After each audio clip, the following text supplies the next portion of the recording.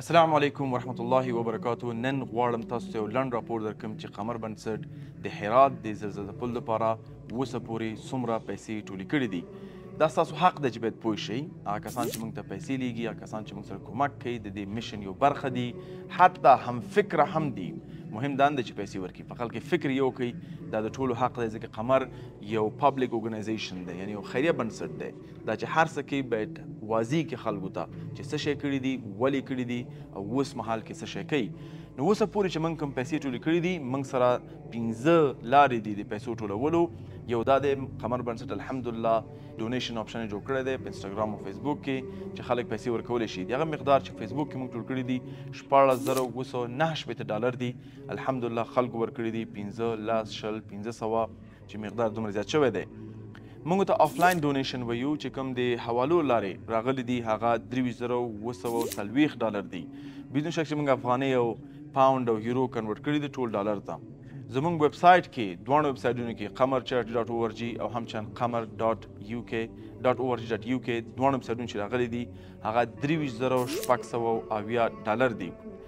زمونږ همچ نان یو پارټنر دی بلکې قمر په هالنډ کې الحمدلله جالبه دا چې قمر ټوټل چې کوم افغانستان کې دی شاوخوا درې میلیون فالوور لري لیکن بیا هم موږ نشو کولای چې قمر په هالنډ کې چې قن شپېته زره یا که درې اتیا زره فالوور لري چې هر یو پوسټ چې لس لایک هم نه اخلي هغوی سره هیڅ کله هم مقابله نشو کولای د پیسو ټولولو کې ځکه زمونږ قمر په هالنډ کې افغانانو سره پیسې نه ټولوي بلکې ترکان او بنګله دیش او مراکو نورو خلکو نه پیسې ټولوي او سبحان الله هغوی همیشه دپاره موږ نه څو قدمه مخکې وي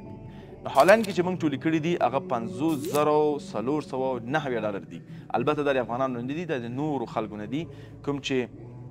په هالنډ کې اوسیږي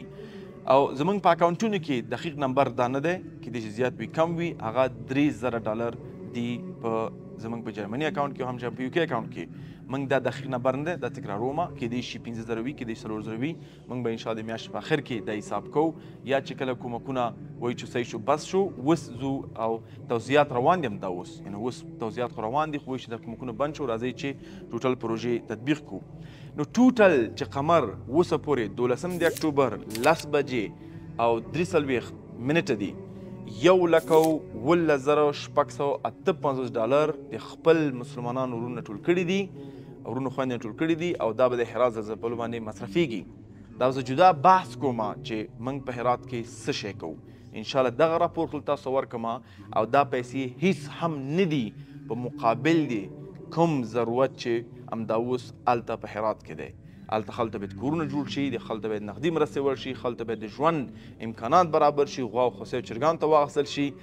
خلته به د کور کالی کاسي پیالي به واغسل شي او دا فکر وکا چې د زرهاو کورنۍ لپاره هیڅ هم نه دی په خپل تقسیم کا